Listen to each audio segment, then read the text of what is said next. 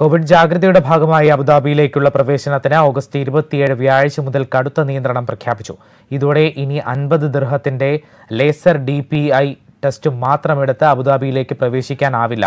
പുതിയ നിയമം അനുസരിച്ച് നാൽപ്പത്തിയെട്ട് മണിക്കൂറിനകം എടുത്ത പി സി ആർ നെഗറ്റീവ് സർട്ടിഫിക്കറ്റോ ലേസർ ഡി പി ഐ ടെസ്റ്റിനൊപ്പം ആറ് ദിവസത്തിനകം എടുത്ത പി സി ആർ നെഗറ്റീവ് സർട്ടിഫിക്കറ്റോ ഹാജരാക്കിയാൽ ഇനി പ്രവേശനം അനുവദിക്കും. എന്നാൽ ആറ് ദിവസത്തിനുള്ളിൽ വീണ്ടും ഇതേ രീതിയിൽ ടെസ്റ്റ് നടത്തി വന്നാലും പരിഗണിക്കില്ല. കോവിഡ് വാക്സിൻ പരീക്ഷണത്തിൽ പങ്കാളിയായ വോളണ്ടിയർമാർക്ക് ഇളവുണ്ടെന്നും ദേശീയ അത്യാഹിത ദുരന്ത നിവാരണ സമിതി അറിയിച്ചു.